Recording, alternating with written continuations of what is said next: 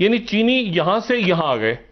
अच्छा यहाँ आके इनकी ज़मीन पे आ गए जो इन ये कहते हैं हमारी ज़मीन है। उसके बाद उन्होंने थोड़ा सा आगे होने की ऐसे ही हवा में सिटी बजाते हुए सुनो hello hello hello hello hello करते हुए आगे गए वो चीनी में।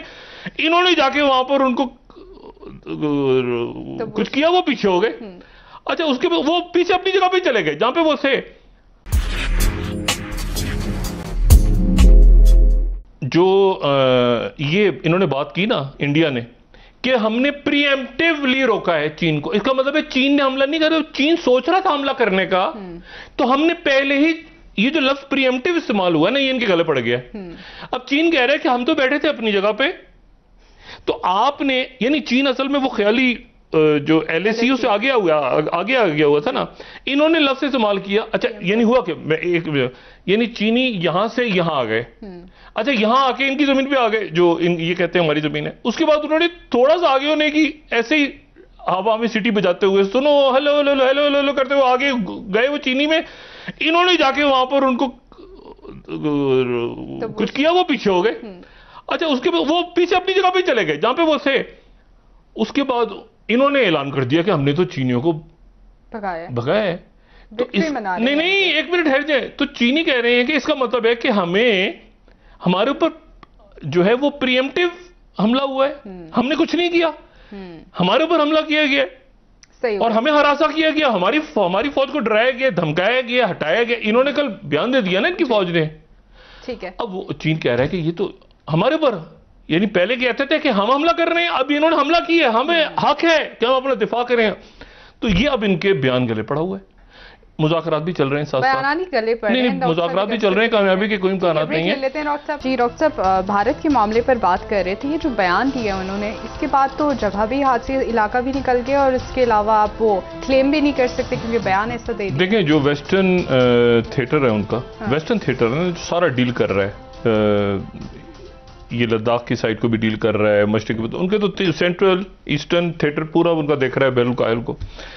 तो वेस्टर्न थिएटर ये उनका जो सी जी टी एन है आ, जो उनका सरकारी मीडिया है चाइना का वो कह रहा है P L A western theatre command says India broke promise and trespass China's border again यानी दोबारा जो है वो भारत ने खिलाफ वर्जी की है चीन की सरजमीन की। वो बात जो मैं बार बार कह रहा हूँ कि ये इन्होंने जो बात कल तो कर, करने को तो कर दी है ना बात?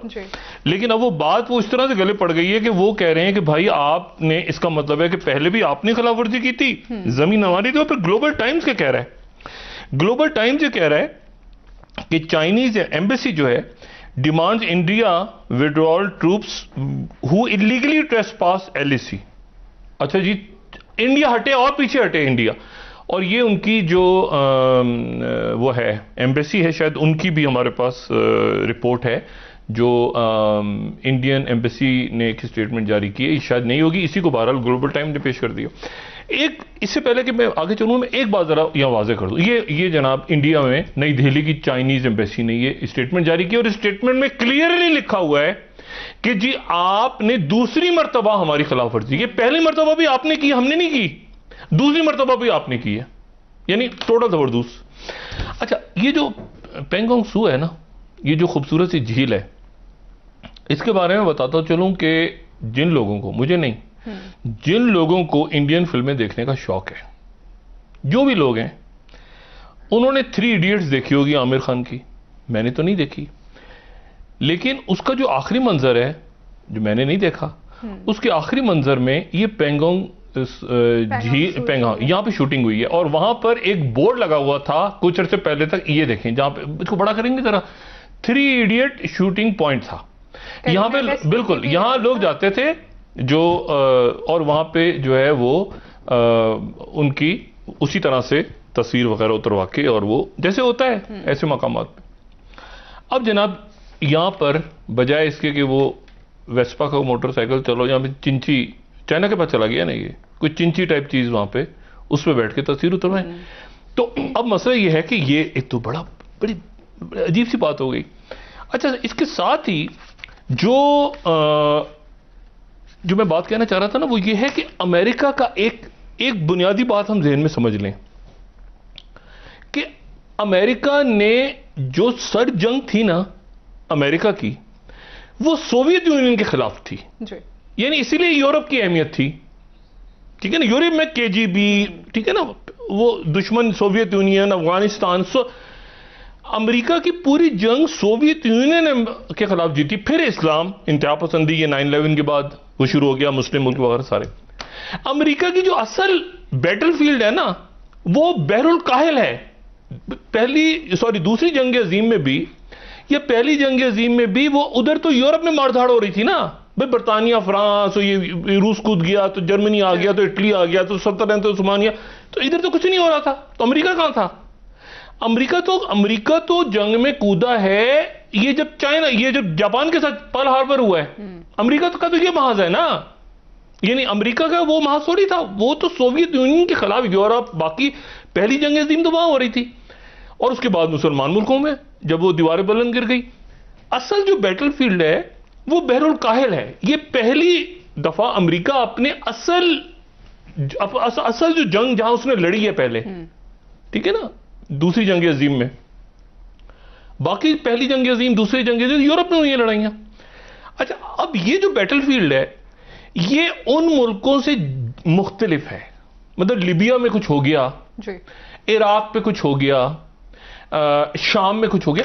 दुनिया की तिजारत अपनी जगह चल रही है। दुनिया अप, अपनी जगह काम कर रही है। दुनिया अपनी जगह से नहीं हिली। लेकिन ये जो साउथ चाइना सी है या बहरुल काहिल यहाँ पे अगर एक पटाखा भी चलता है तो उसके नतीजे में पूरी दुनिया का काम रुक जाएगा।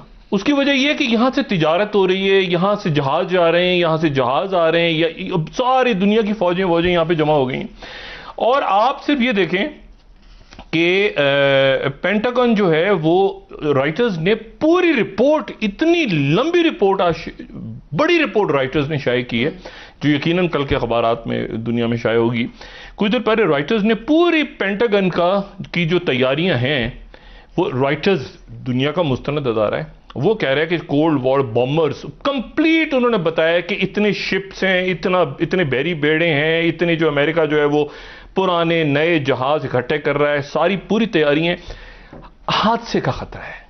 यानी कोई एक गोली। और इसके ऊपर जो है वो ग्लोबल टाइम्स साथी ये कह रहा है कि यूएस इंटेंड्स अमेरिका की पूरी कोशिश है ये तो राइटर्स की पढ़ने वाली रिपोर्ट है इस पर बाद में बात करेंगे डिटेल में कि कौन से जहाज़ हैं? ये पेंटागन ने दिए असल में। इसके ऊपर चाइना अभी तक चाइना का रिस्पांस नहीं आया। राइटर्स वाले कह रहे हैं हमने चाइना से पूछा कि आप क्या जवाब देंगे? वो तो चाइना ने कभी काम जवाब नहीं देंगे इसका।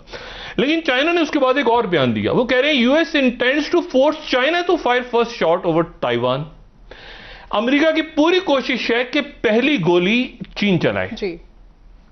यानी ये हालात यहाँ पे हैं इस वक्त। वो कह रहे हैं पहली गोली जो है वो चीन चला दे तो चीन और ताइवान पे चला दे। अच्छा पहली गोली चलाए अल्लाह ना करे कि पहली गोली चले और इस तरह की बड़ी जंग हो जाए। लेकिन उसके साथ ही जो चेक रिपब्लिक है आपको पता है जो वज़ीर खारजा हैं चाइना के वो कुछ दो हफ़्ते का दौरा कर रहे हैं यूरोप का। जी। और यूरोप में मैंने आपसे बात की ना कि यूरोप में जो फ्रांस है फ्रांस एक्टिवली इस वक्त बहरे रोम में तुर्की के साथ। फ्रांस की लड़ाई हो रही है। लिबिया में भी हो रही है और मेडिटेरियन में भी हो रही है, तुर्की में भी हो रही है। और तुर्की जो है, वो खुल के तुर्की की तरफ़ से कई रिपोर्ट्स आज भी हैं, कल भी हैं। तुर्की अल जजीरा कह रहा है कि वो कह रहे हैं कि इस मेडिटेरियन के अंदर हम अपनी तलाश जारी रखेंगे और ईयू की तरफ़ से उनको वार्निंग आई तो फिर वो हाइपोथेटिकल हाइपोक्रिटिकल। अच्छा अब हो गया है मसला कि चाइना ने कह दिया कि रेड लाइन क्रॉस होगी। चेक रिपब्लिक का डेलीगेशन पहुँच गया। चाइना का क्या इन्फ्लुएंस चाइना अब क्या करेगा? नहीं देखिए ना पहुँचा वो करेगा ताइवान के खिलाफ तो कर सकता चेक रिपब्लिक के खिलाफ चाइना क्या करेगा? हम्म। भाई चेक रिपब्लिक तो रूस उधर है अपना यूरोप में है ना? अच्छा अगर चाइना कुछ नहीं करता तो फिर बाकी यूरोपीय कंपनी देखिए जब आप एक दफ़ा बात करते थे इंडिया फंस गया ना हम्म। हम करेंगे अब करके हम तिजारत तोड़ेंगे एप्लीकेशन तोड़ दी वो निकाल दी वो टिकटॉक विकटॉक आगे ठुस। तो मसला यह है कि जब एक दफ़ा चाइना ने भी कह दिया कि हम रेड लाइन क्रॉस नहीं करने देंगे और वो रेड लाइन क्रॉस हो गई। अब अगर चाइ, अब चाइना मैं ये सोच रहा हूँ बैठ के कि चाइना चेक रिपब्लिक के अगेंस्ट क्या करेगा। हम वो ताइवान की तो ऊपर तो कुछ कर सकता है। चेक चेक अच्छा चेक रिपब्लिक के अगेंस्ट अगर चाइना नहीं जाता तो मजीद यूरोप के मुल्क निकलेंगे।